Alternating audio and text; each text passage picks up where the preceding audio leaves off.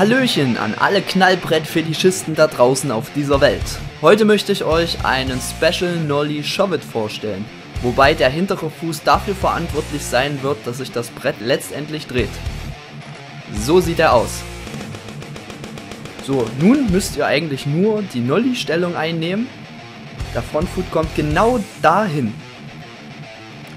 Der hintere Fuß wird dann am Spann an der Brettkante abgelegt und sorgt letztendlich dafür, dass er das Brett rotieren lässt beim Wiederaufstehen. Zack. So.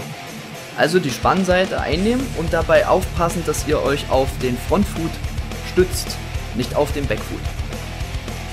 Das Ganze könnt ihr dann auch in der Fahrt probieren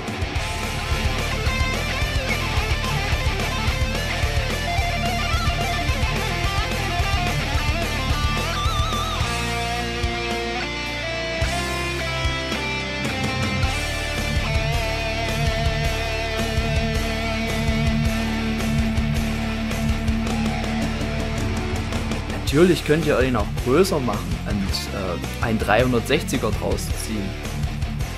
So, was ich kann, könnt ihr auch. Ihr müsst nur üben, musste ich auch. viel Spaß und viel Erfolg damit.